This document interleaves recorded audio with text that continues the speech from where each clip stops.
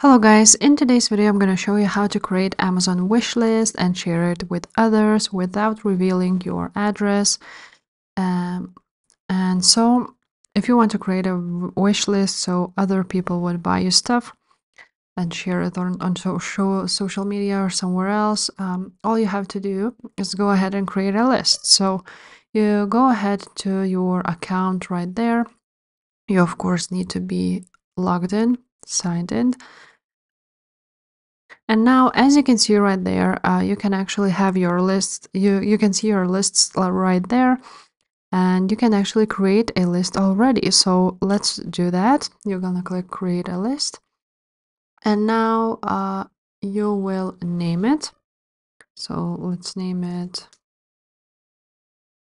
uh, Solvestorm uh, wish list is now private and we need to edit it. So you're gonna click on more and manage list. Now, as you can see, uh, this can be private or you can be make it public. And now manage list with Alexa or let's leave it like that. List is for you, recipient. You can add your uh, email. For example, if you have business email, you can add your birthday. Uh, write down a description. Um, and now you're gonna choose your shipping address. Now, uh, when you will write down uh, the address of yours, uh, you're gonna see all of these options. So uh, you're gonna click ship to this address. And now you will see that this is the button share my shipping address with sellers. So you don't want to click on it. Just leave it blank like that. Now you can let your buyer ship additional items. Uh, maybe you want they want to add you something additional. And now don't spoil my surprises. So leave it uh, on and then you're gonna uh, save the changes.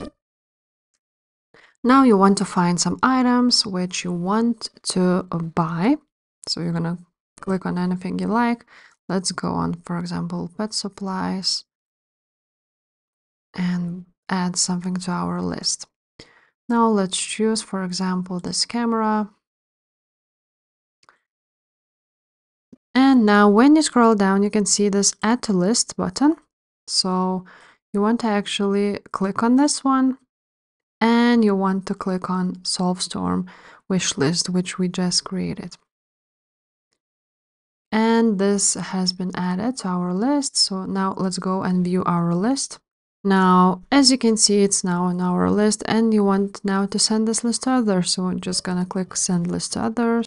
And now you can, anyone with a link can view your list without making edits, or you can invite people to add or remove items from your list. So this is your choice. So let's click on view only and you can copy the link and then paste it anywhere you like. So yeah guys, if this video was helpful, please leave a like, subscribe to this channel, and I will see you next time. Bye.